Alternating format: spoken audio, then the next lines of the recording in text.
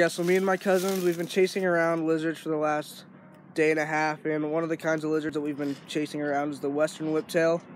And it, has been really fast, it's been super hard to catch, but we just caught one right over here, here close to the Capitol Reef area. So we got him right here. I think we're gonna go, we're gonna take him to a little bit better lighting spot to get some cool shots. And yeah, so we finally got one, we're super pumped, and here we go. All right, so we got the western whiptail in a little bit better place now, where I can show it. We just, I have it in the net right now just to make sure it doesn't escape because we finally were able to get one and I don't want to lose it right away. We'll release it after a little bit, but these guys have a lot of energy and you can see look how long they are, especially that tail, and that's probably the main reason they're called a whiptail. It's just such a long tail. Its feet as well right here, you can see it has one really long finger right there, some other decent ones. Some pretty decent sized claws for its size at least, and another cool thing about these guys is there you can just see its tongue go out like that, and it, it looks a lot like a snake tongue. It's kind of a forked tongue. We'll see if he'll maybe stick his tongue out again. So keep an eye out for that as we're going out, because I can't just make him open his tongue on demand, but then if we look at his pattern, he's like black on the top and then orange on the bottom, and you can see those stripes running down his back with the polka dots as well.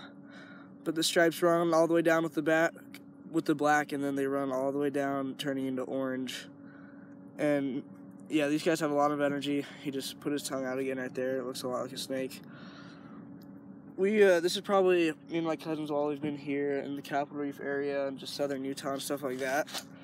This is probably the most. This is probably the lizard we've seen the most actually. This exact type of lizard. Um, but it was the hardest to catch because it's so fast, and also this type of lizard likes to be a lot more in the bushes. And when there's a lizard in the bushes, it's a lot harder to catch it than when it's like in some rocks or something because you can kind of move the rocks out of the way. But with the bushes, you can't just grab your hand in there and try to snag them because all the plants are just gonna kind of get in your way. But yeah, they're ridiculously fast. We might be able to see how fast he is when we release it.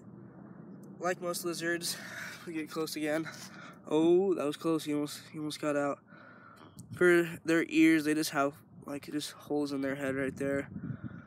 And uh, these guys, I mean, a lot of lizards look like mini Komodo dragons, I guess you could say, but this one's head really reminds me of one. It's got really pointed head and like some of the other lizards that we caught, like the sagebrush lizard, which um, there's a new video about just a few days ago. That sagebrush lizard, its front mouth is more rounded, where this one's a lot more pointed.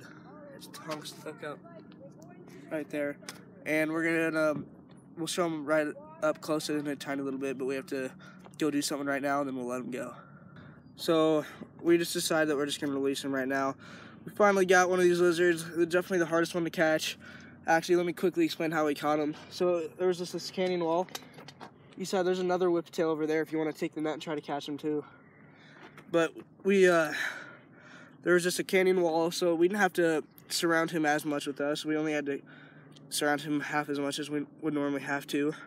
And then uh, uh, my uncle, he came in from the side, scared him, and he just ran right up against the wall. I stuck out my net. He ran to the net, and we were able to grab him.